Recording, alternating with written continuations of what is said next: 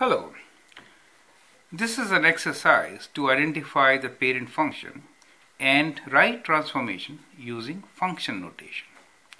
Well, to some sometimes the students get confused as like how to write in function notation.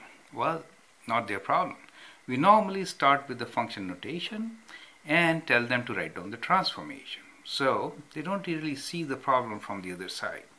So let me first give you the function notation form of a transformed function okay? So we normally write like this. We say f of x is equals to a times f of within square brackets k times x minus c bracket close plus d. So that's how we write our function transformed function right? This is how we write transform function.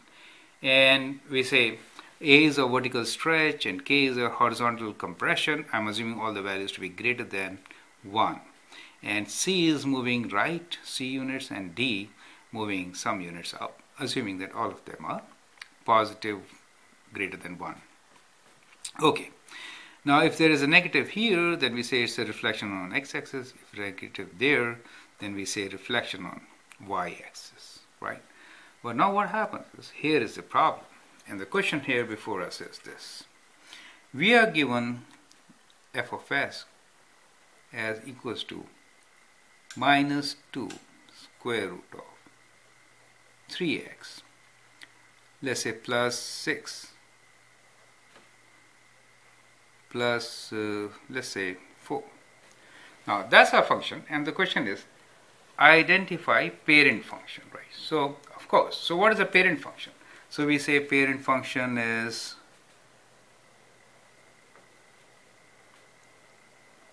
let's say gx equals to square root of x, correct? Because that's a square root function, right? And now the second part is write the transformation using function notation. Right? So we have to write transformation in this form. That is what the question really is, okay? So to do so, what we should do is, here it's a good practice to factor out 3, right? So let me write this given equation once again. So I'll write this as f of x is equals to minus 2 and we have square root. I'll take 3 common, right? And I've got x plus 6 divided by 3, 2 plus 4, right? Now if you compare these two and instead of parent function square root x, we just write letter f, we get our answer. So we could write this in function notation as minus 2, right? And then our function, and we are not writing square root.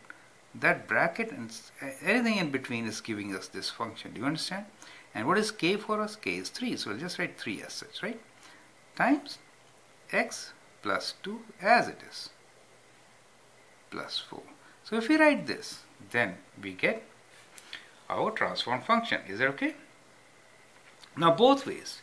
If you have to explain the transformation, what do you say here? If I give you a transformed function in function notation, you will say reflect on x-axis, vertically stretched by a factor of 2. Since k is greater than 1, it will be horizontally compressed by a factor of 1 over 3, right? And here, horizontally translate 2 units to your left everything is reverse here. Do you see inside? And it's horizontal. So if you're multiplying by a number greater than 1, it actually translates to horizontally compressed by 1 over 3, right? And here it looks positive, thinks as if it will be greater. No. Positive means what value of this will make this 0? So you have to come back 2 units to your left, right? So that's horizontal translation 2 units left. And plus 4, these outside things are for vertical, right?